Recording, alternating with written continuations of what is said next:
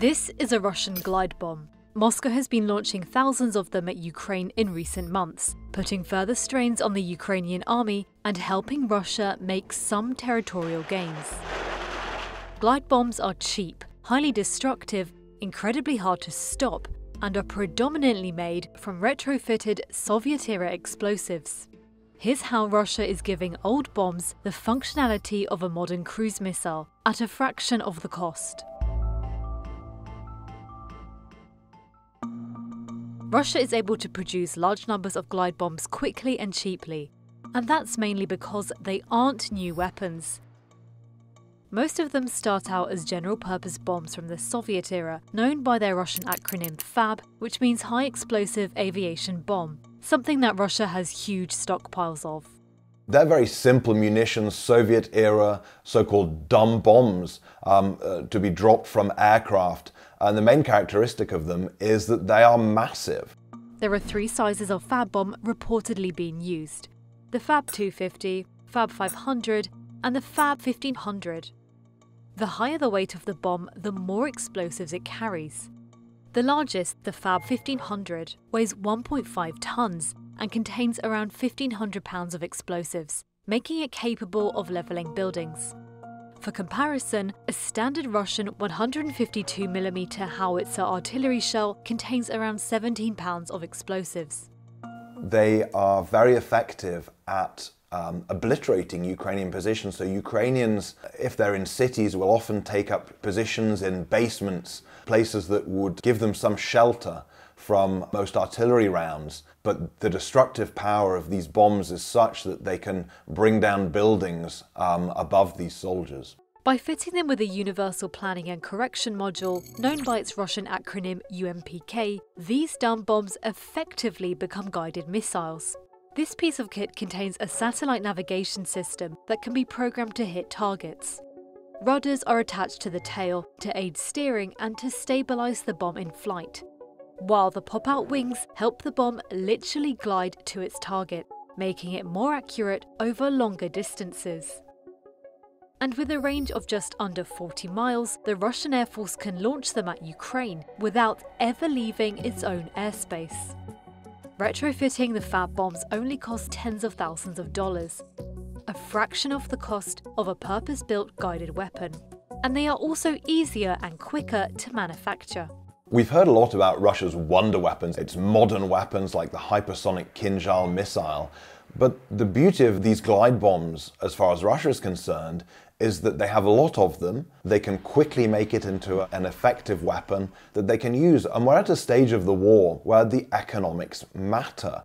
Jets like the Su 34 bomber allow Russia to launch multiple glide bombs at once in a bid to overwhelm Ukraine's air defense systems.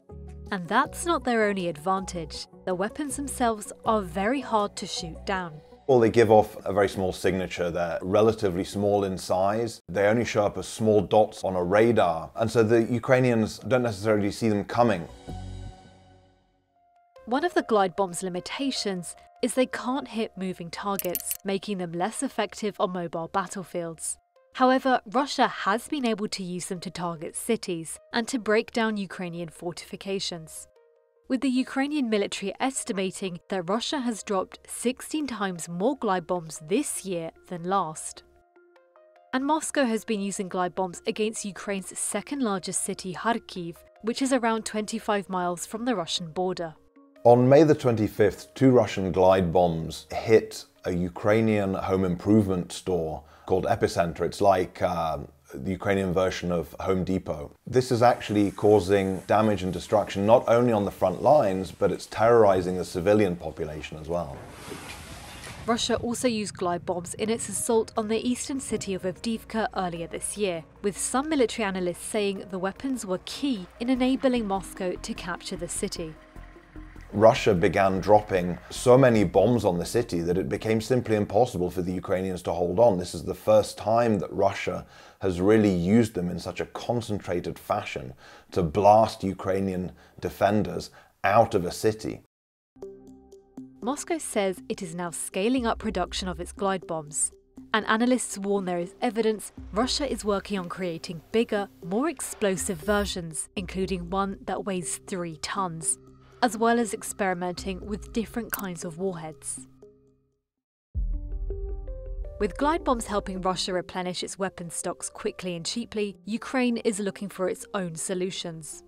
Ukraine wants F 16 fighter jets. These can be used to strike down the Russian planes before they're able to release the bombs. However, some analysts say because F 16s face the risk of being shot down by the Russians, Ukraine should instead focus on electronic warfare tactics.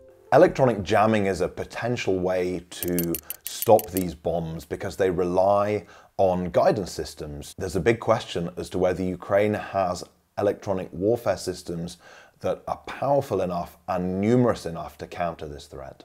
Analysts also say more advanced air defense systems like US made Patriots would allow Ukraine to shoot down Russian fighter bombers. But that's only if they can be located close to the front line.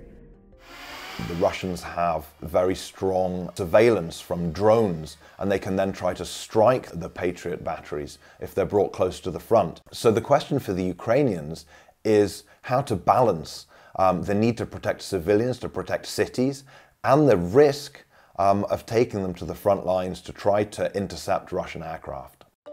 Because glide bombs are affordable and can be quickly replenished, Analysts believe they will continue to play a significant role in Russian attacks in the coming months. Glide bombs have been a very effective way to smash Ukrainian positions, to kill defenders, to break defences, and to get through and take more Ukrainian territory. If the Ukrainians are able to stop that, they'll have a much better chance of holding their positions against the Russians.